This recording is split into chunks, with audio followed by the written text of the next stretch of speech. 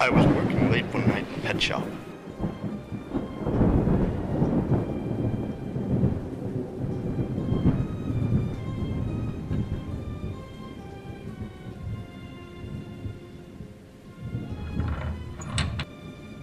The place was emptier than usual.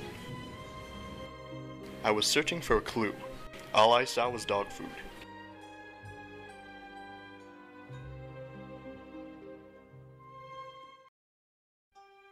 It was a rough night.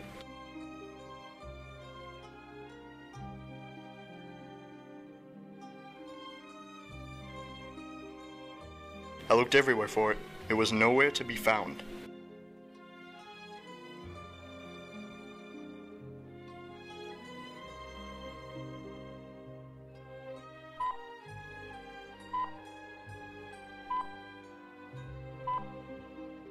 So I went into the office. After reading some email, I looked in my desk.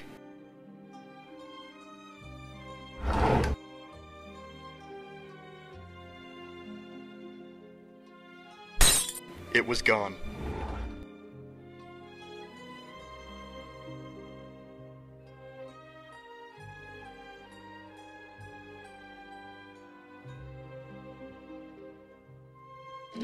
I guess I'll never find it.